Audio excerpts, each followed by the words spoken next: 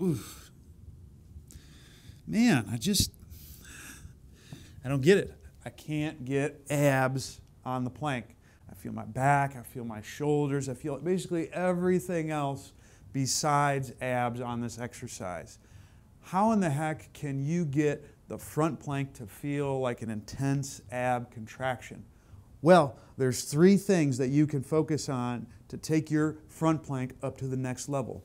I'm about to show you. Piece one, you want to make sure you get a full reach through the arms. So a lot of times people when they do a front plank, they'll sag down so their chest will get close to the ground.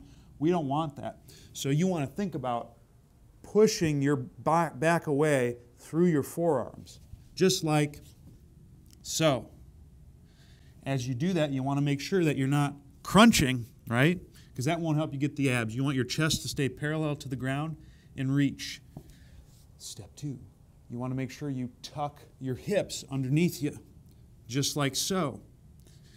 When you do the tuck, you want to imagine that someone grabbed you by the back pockets on your pants and the back pockets are getting pulled down towards your heels, like so.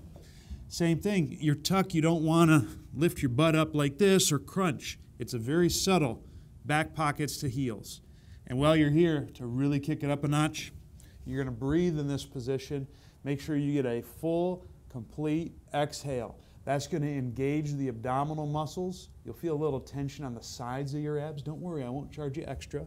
And then you want to try to maintain that tension as you breathe in this position for the duration of your plank. So to summarize, get your reach with the chest parallel, back pockets to heels, and breathe.